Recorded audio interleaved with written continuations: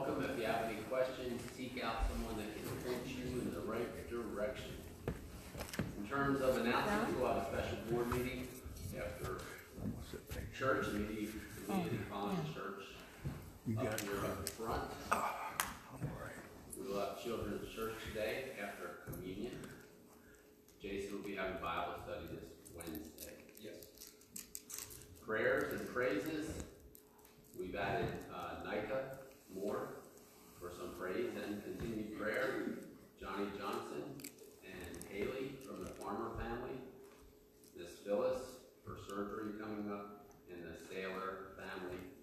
the law in the stroke.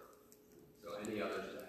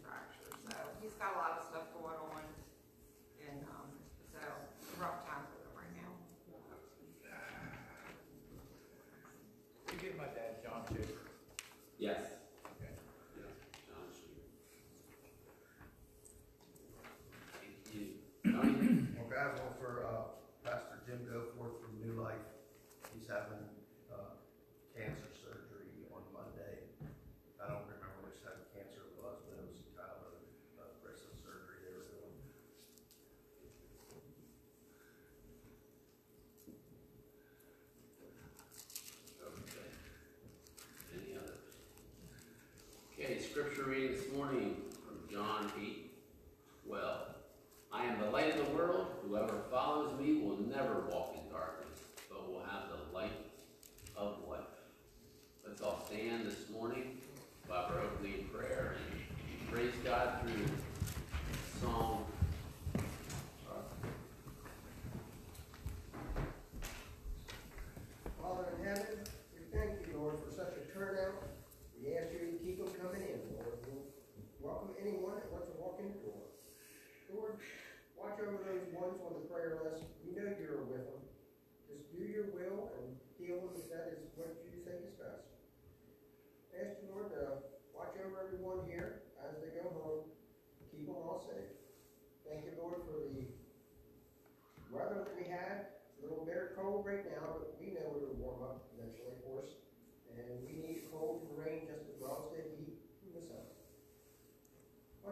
short as the sermon goes, let us listen to what Pastor Ken has to say. Let us understand what he's trying to tell us and your words that he has given.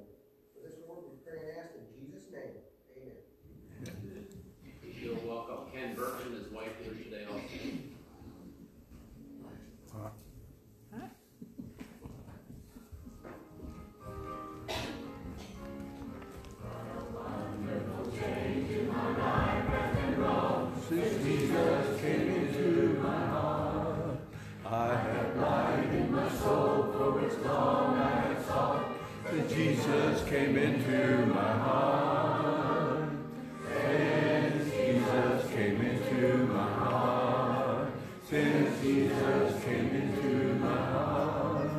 but to go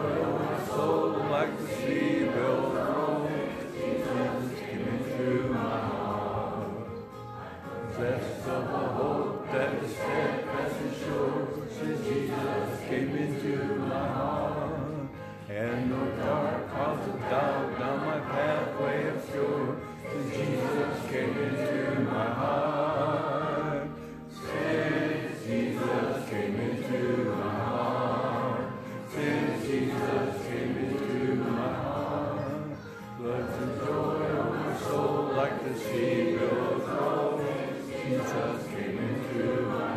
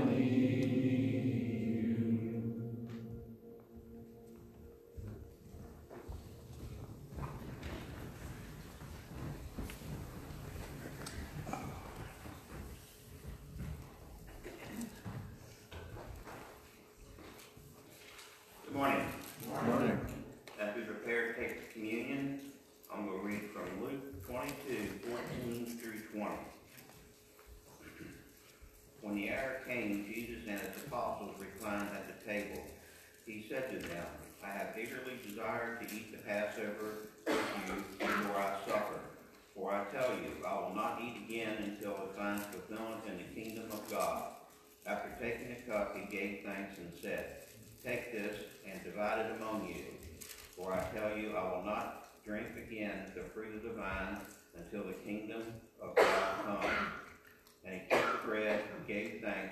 broken. And he said to them, This is my body I give you. Do this in remembrance of me. In the same way, after the supper, he took the cup, saying, The cup is the new covenant in my blood, which is poured out for you. Let us pray. Our Heavenly Father, uh, as we prepare to take communion, let us not forget the reason that uh, we do this and the sacrifice that you made for us so we could have eternal life. The bread which represents the body and the juice which represents the blood.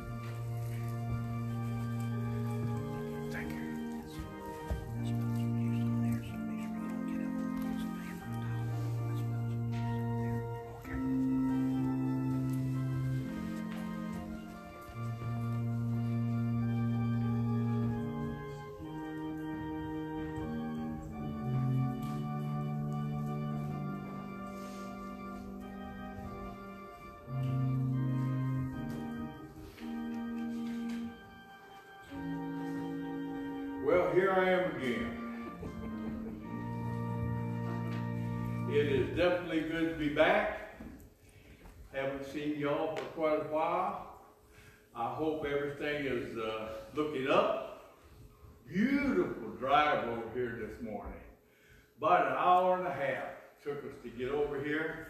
And uh, boy, you just want to keep driving. It's just, I don't know, something about these roads and mountains and hills and uh, buildings, how uh, West Virginia that uh, uh, I don't care how much I drive, I never get tired of uh, of driving like this.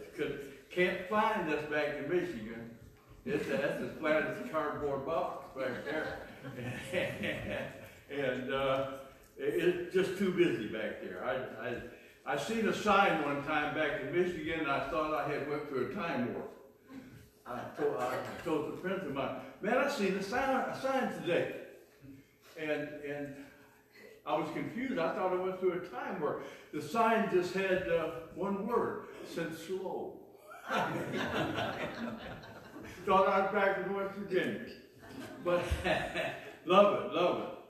Uh, good to see y'all. My lesson this morning is one that uh, very near and dear to my heart. Um, and uh, a couple of things I have to say might sound a little harsh. I hope not. But, uh, but you know, uh, they need to be said. I'm the guy to say it. that's never that's never bothered me. Uh, really, it, it's a very simple uh, sermon. Uh, I entitled it just for filing purposes: "Motivation for Evangelism." Motivation for evangelism. Uh, I think we understand what motivation is. Something happens that motivates us to do something. And, and, and I, I remember uh, uh, when I was in Vietnam, we had to fly into an area in a chopper. And the elephant grass was about seven or eight foot high. And if you know anything about elephant grass, it's just like a razor blade on both sides. I remember Walter Cronkite. Remember that newsman, Walter Cronkite? He had went over there and he said, anybody who has ever had to walk through or jump into elephant grass should get a Purple Heart. Because it just cuts you to pieces. And we was coming in and taking fire while we was coming in, so the chopper couldn't find some place to land and we had to bail out from about 10, 12 feet up in the air. We had to bail out into that elephant grass and uh, didn't want to do it. But the bullet, lead poisoning was, uh, uh, was hitting the chopper. And uh, so we were motivated, if you would, to jump into that bushel basket of razor blades. That uh, uh, being cut up a little bit was a whole lot better than getting lead poisoning. Okay, so so motivation. Once we know, once we know that we have to do something, uh, especially things that God has asked us to do. It's one thing to know what God asks us to do, but it's another thing to be motivated in order to do it. Okay? What, what causes us to, to, to go ahead and say, well, I'm not that comfortable doing that. I'm not really sure I want to do that. I'm, I'm not, uh, I'm, I'm, I'm just, I don't think I'm the person to do that. But yet, something will happen, or we'll think of something that will say, well, maybe I need to go ahead and do it because or for this reason. Well, uh, when, when I said that I might sound, say something that might be a little hard, uh, it's simply this. This congregation, every congregation of the Lord's church has no reason to exist if evangelism is not our main goal. No reason. Now we can decorate for Thanksgiving, we can decorate for Christmas, we can decorate for Easter, we can have all these meals and all this, and that's good stuff. Don't get me wrong, that's good stuff. I uh, I like those meals, as you can tell. But uh, so that's all good stuff. But that's not our mission. Jesus gave us the Great Commission. That's our mission. That's our number one priority. As the original Greek says, as we are going throughout the world, we are to be teaching, preaching the gospel, baptizing those who will respond to that in the name of the Father, Son, and the Holy Spirit, then teaching them to observe all things whatsoever Jesus has uh, commanded us to teach. That's our mission. And if we're not doing that, I mean, you can go to a Rotary Club and get a Thanksgiving, Christmas, and Easter meal. You can go to Rotary Club. Uh, here's another harsh thing I was going to say.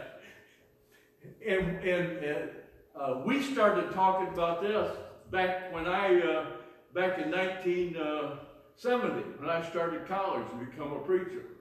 We, uh, our students talked about it because it was already happening.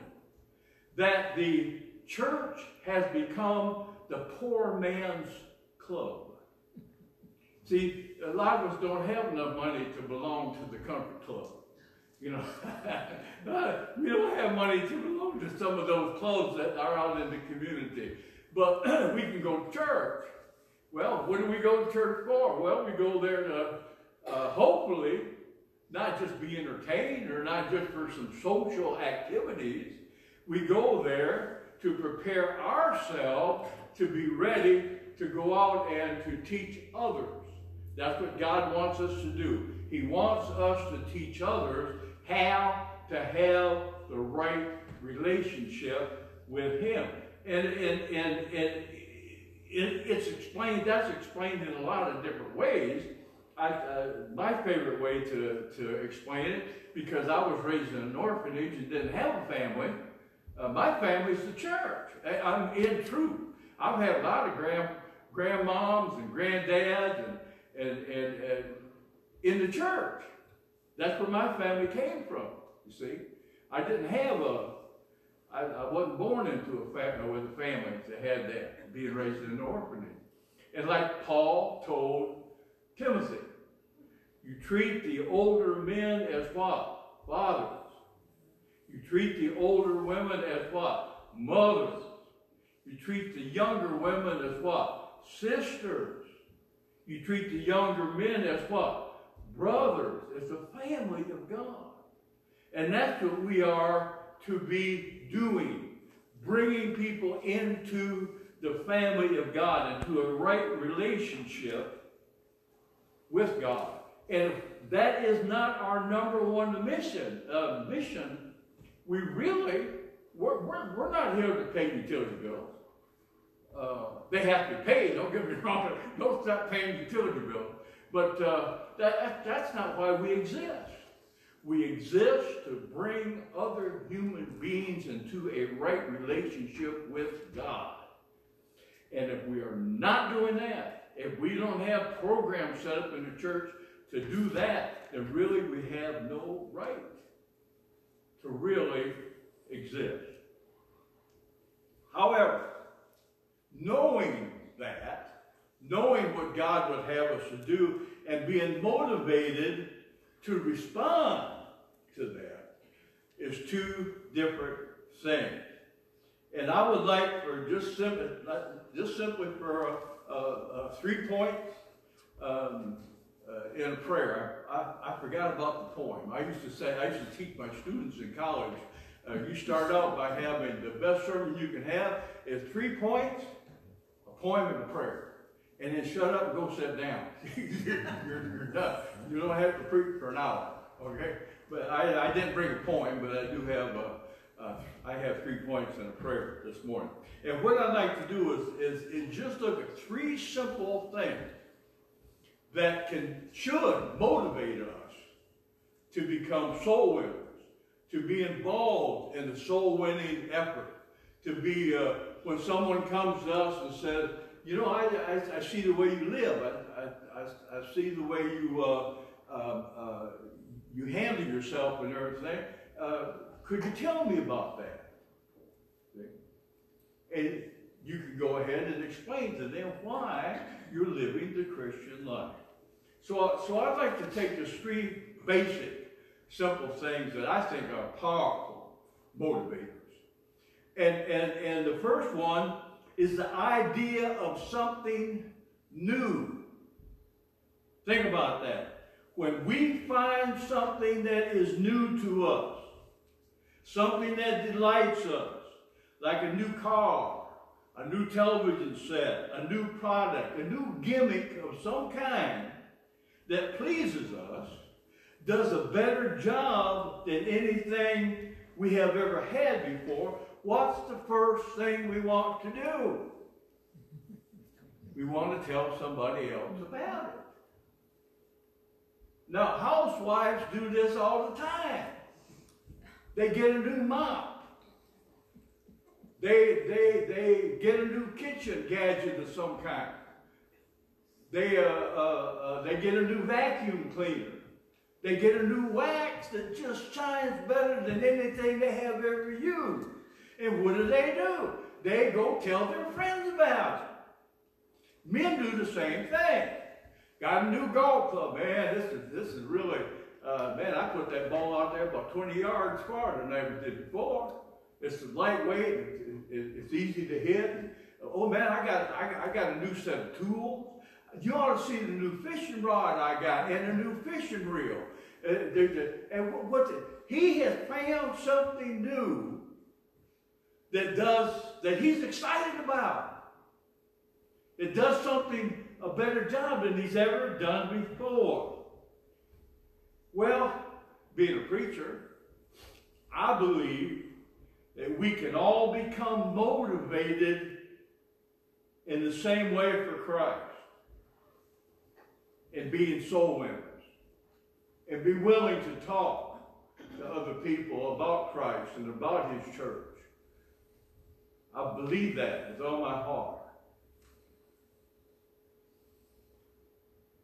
But maybe our Christianity has become old.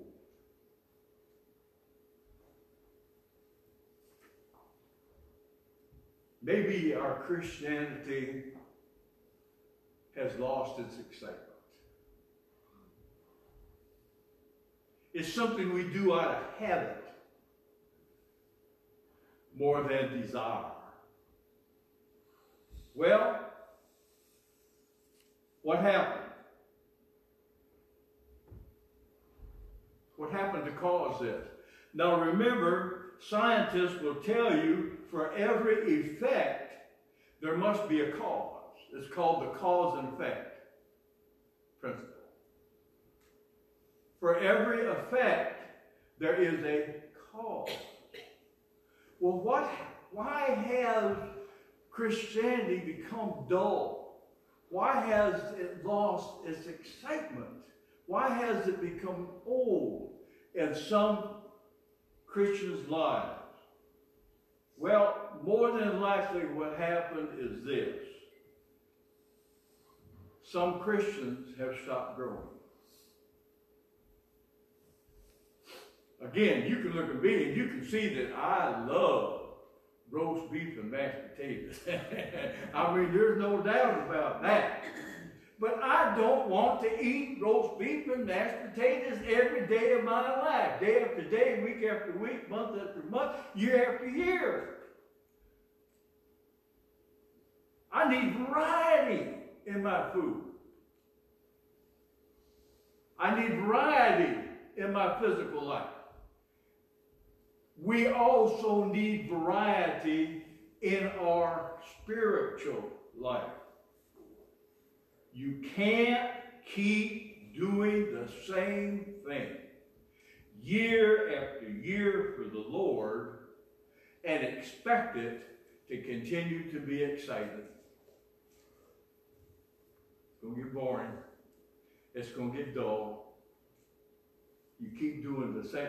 You have not. What does Hebrews chapter 6 and verse 1 says? Therefore, leaving the basic principles of the doctrine of Christ, let us go on to maturity. Don't, don't, don't just keep doing that same thing. Well, I, I'm, I've been baptized and, and, uh, and uh, uh, here's what I think I can do now. And it's a good thing that you can do that now at that time, but you never go past that. There's nothing new. There's nothing exciting. And your Christianity becomes dull. 2 Peter 2 2, as newborn babes desire the sincere work, uh, word that you might grow thereby. You see, it's a lack of growth physically, a lack of growth spiritually that will make life and our Christianity become dull and old. But as we dig deeper into God's Word, as we leave the basic principle and we want to know more. We want to know more about God. We want to know more about our service to God. We want to know more about how we can become stronger ourselves. The more we continue to mature in the newness of God's instruction, we will want to tell other people about it. Just like you did that fishing rod or just like you did that new mount. The idea of something new. I've known people that just, man, even, even when I was in college and even, even afterward, they'll come to me and say, brother, boy, brother Bert, you know, I've been studying my Bible. I never seen this before. Let, let, let, uh, let me share this with you. This is wonderful. Me, and I said, well, what does that mean to you in your life? That's probably why you spotted it because it related to something going on in your life. And, and, and, but it's new to you. You've never seen that before. And you just want to go tell other people about it. Something new. Something, the idea of something new. This is a, this is one that's uh, that's really tough. This is motivation can our motivation can come from the reality of a lost soul.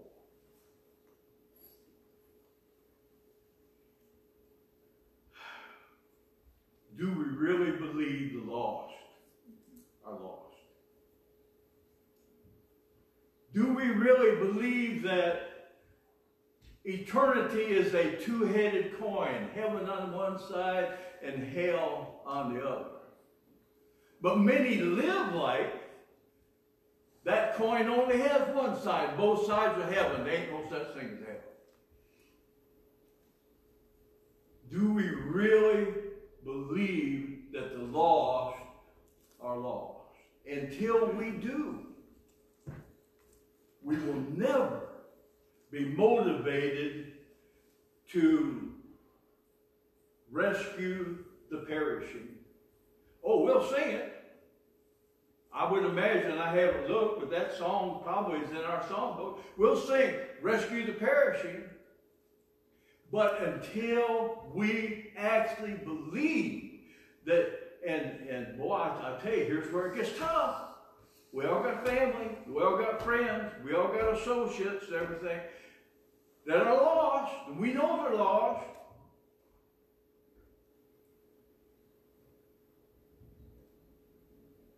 Until we actually believe that they are lost, until we actually can look at the cross and say, this is the price that was paid to save people, to keep them from being lost. Until we actually, God help us, that we, I can do all things through Christ. Well, can I go tell my mom and dad that they're lost? Can I go tell my children that they're lost?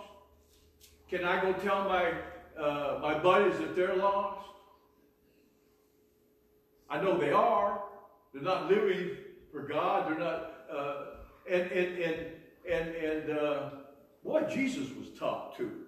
You know when it comes to teaching. He, he told the Pharisees and, and, and some of them, he said, one day he said, you know who your father is? Said, your father's the devil. God is not your father.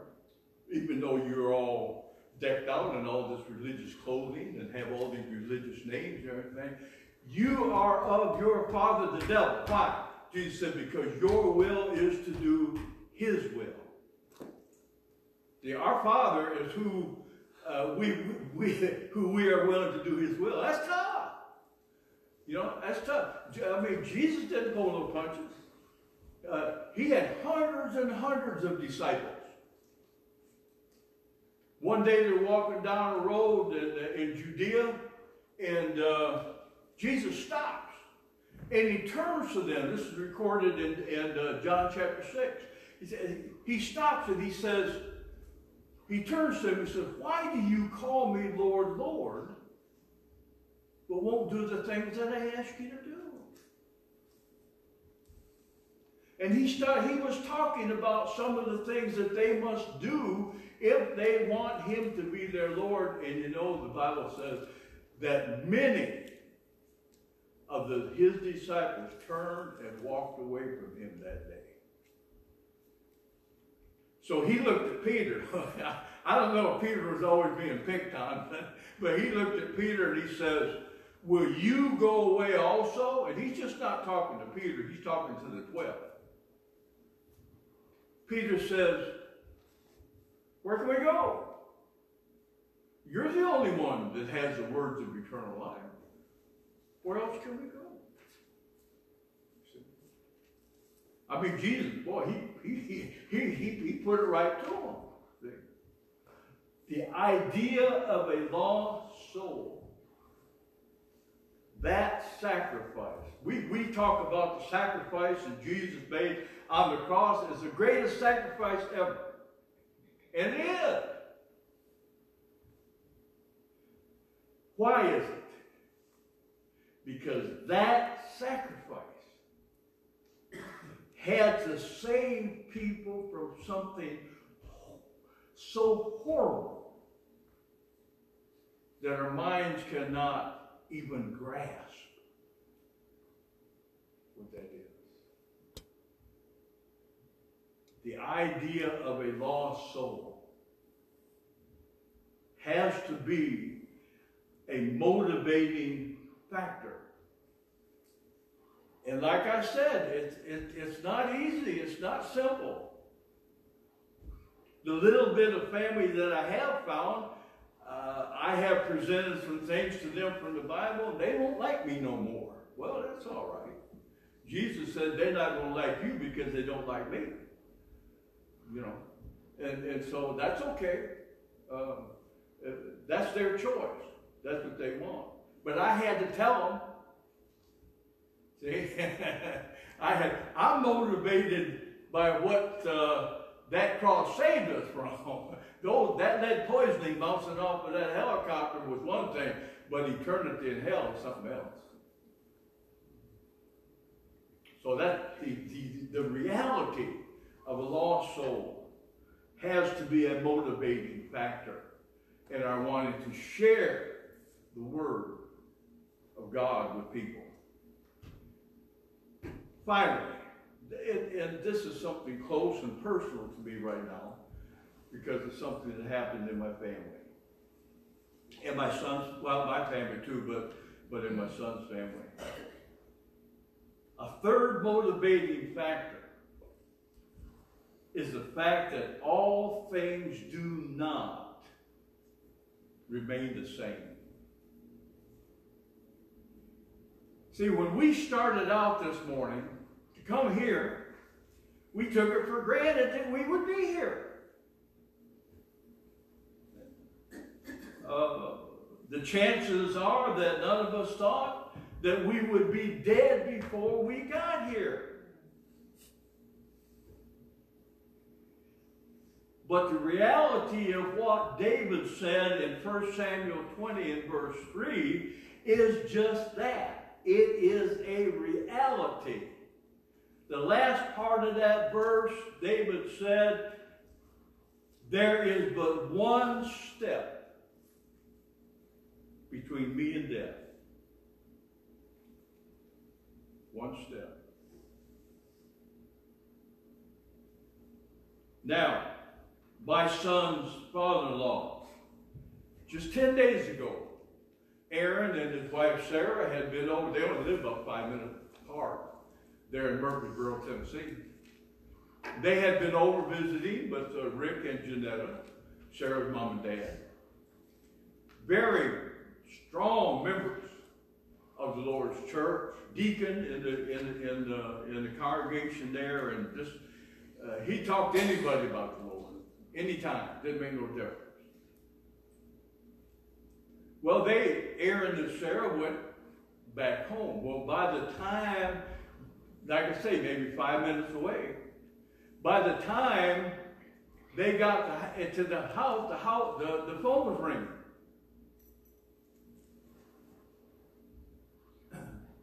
And it was her mother.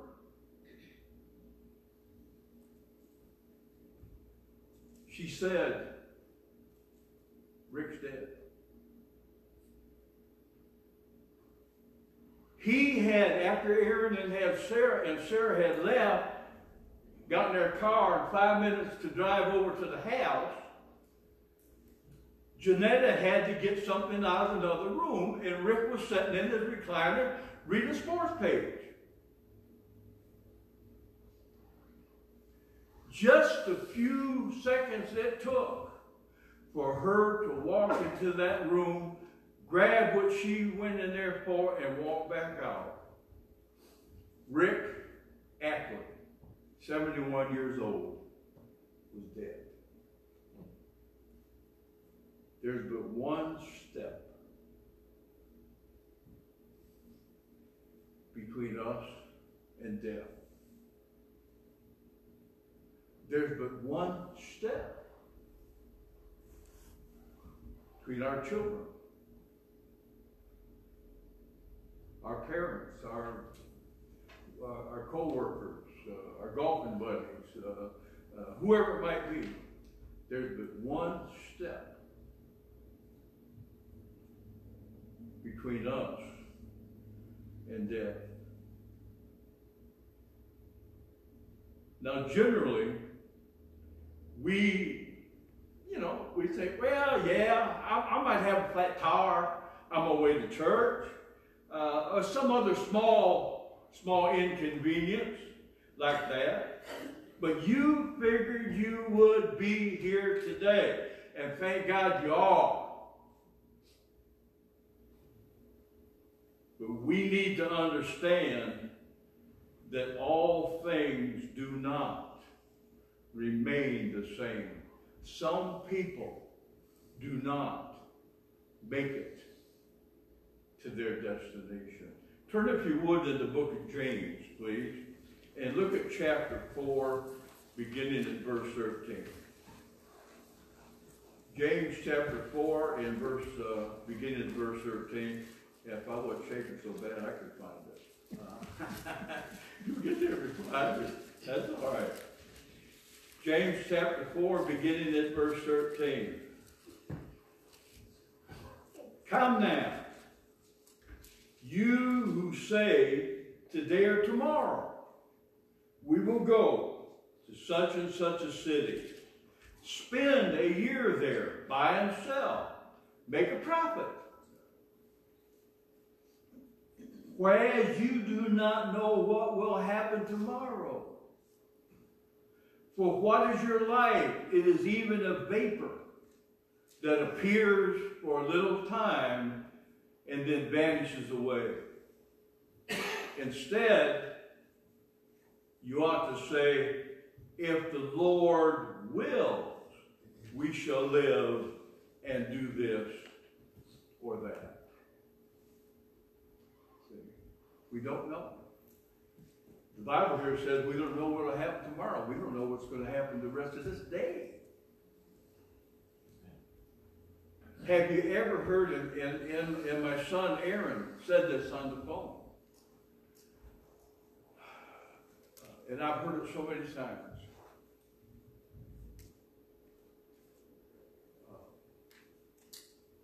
They had no pre-funeral arrangements made, no, no, no, no, no nothing. And if, if, if you are, if you ever want, and I hope there's no funeral directors in here, but if you ever want to get hit hard for some high-priced stuff, walk into a funeral home and say, okay, we need a casket, we need this, well, you're going to pay the highest prices. And Aaron said, Rick and Janetta always thought that they had time to do that.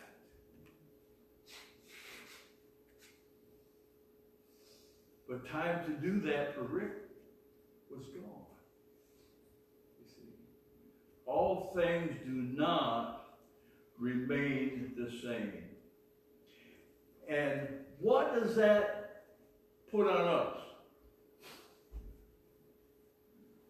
I'm reminded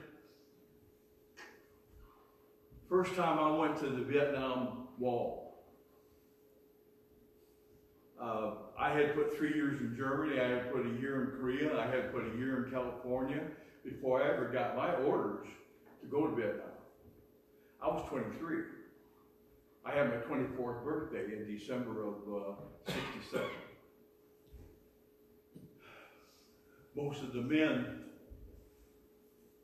in my uh, platoon, 18, 19 years old.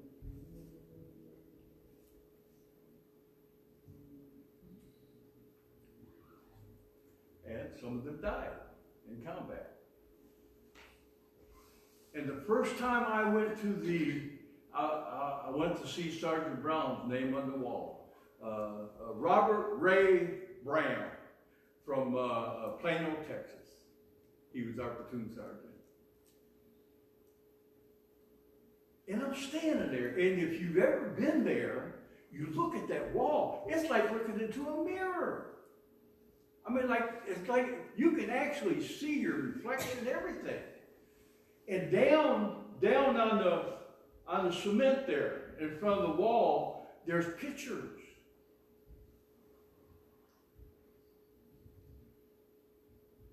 Eighteen, nineteen, twenty-year-old soldiers whose names are on that wall. I'm standing there and I'm thinking, oh man, this is not good. This is not good. I never expected or thought about what would hit me when that happened.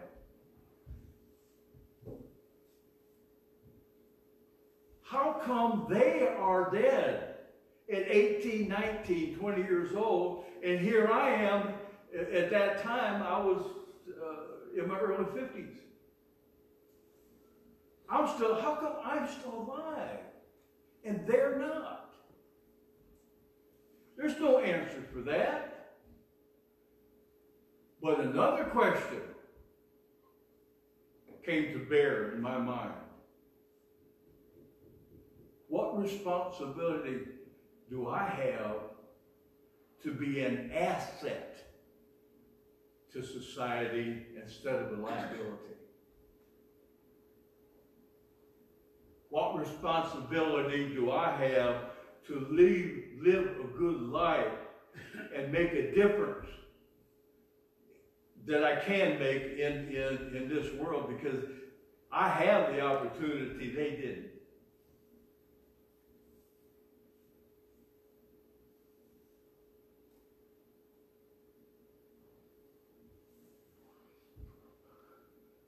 Things don't remain the same.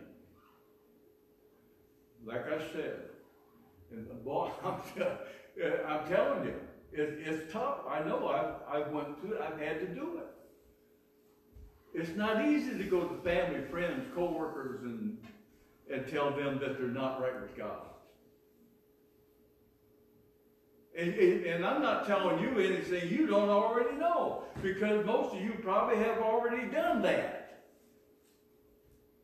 And maybe they responded in a favorable way.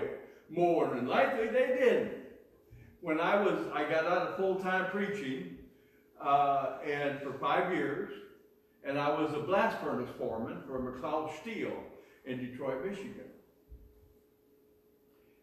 And uh, all, my crew knew that I was the preacher. Ooh, boy, I got called everything different.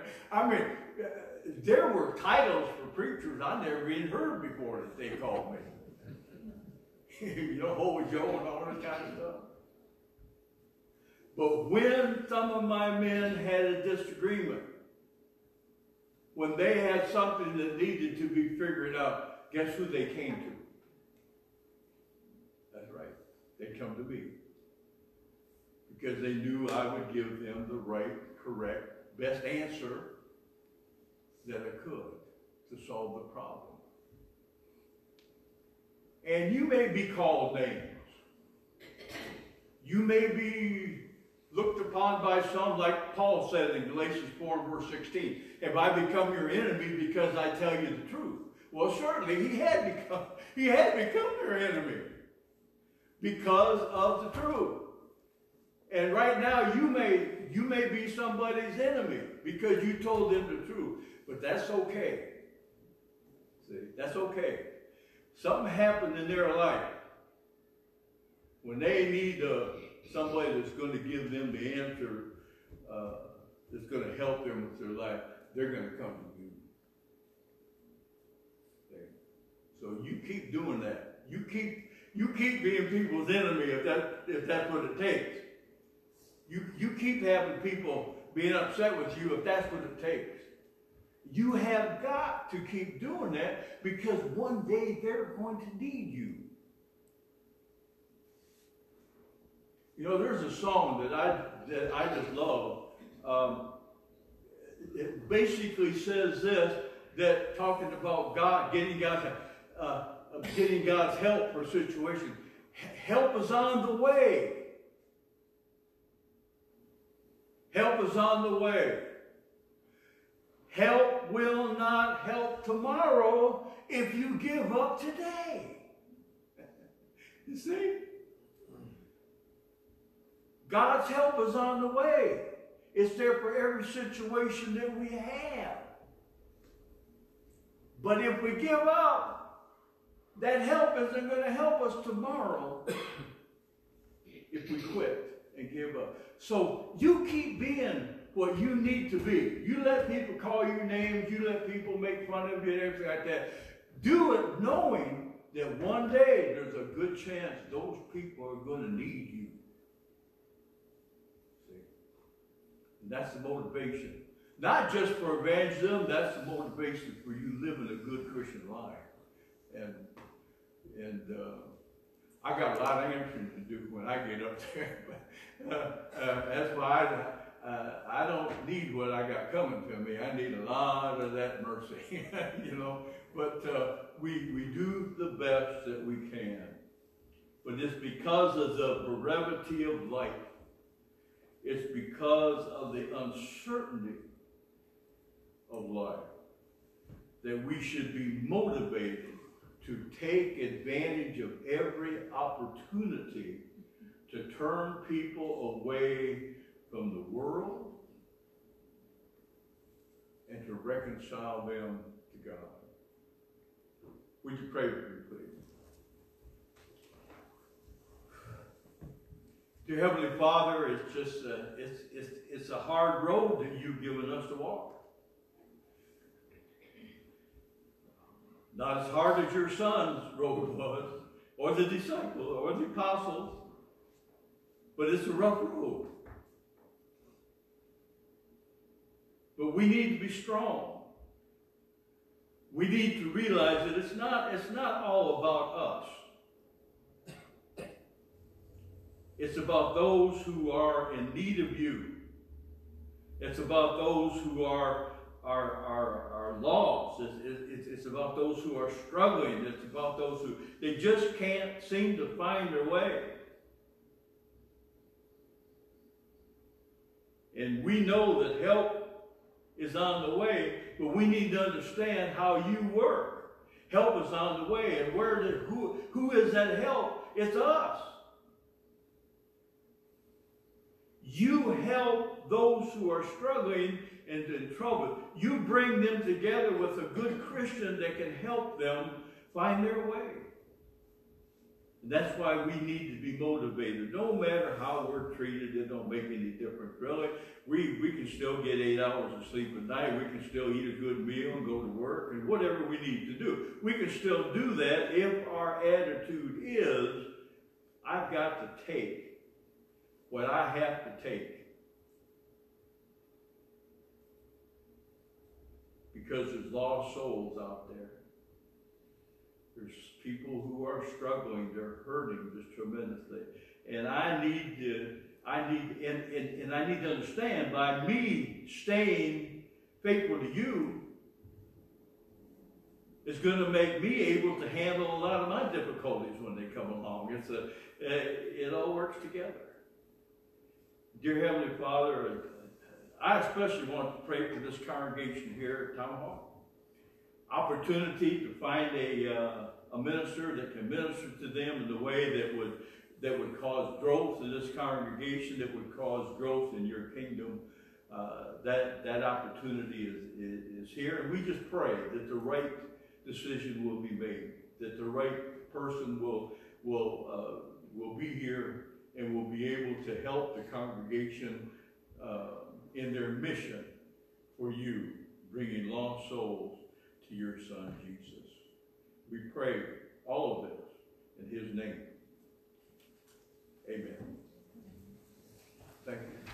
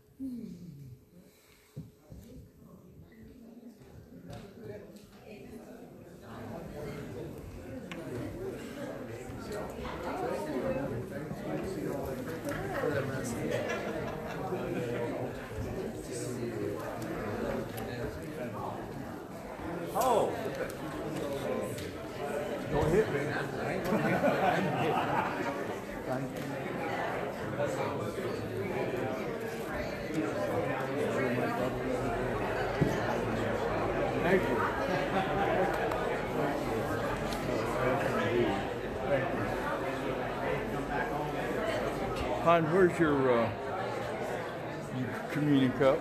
Okay. You want to, you want to, uh, oh, I left my Bible up there. You're going to, well, I'll, I'll, go get my Bible. And bring it down. And I'll, uh, I want, I want to take that bulletin home, okay? Yes. I got it right here.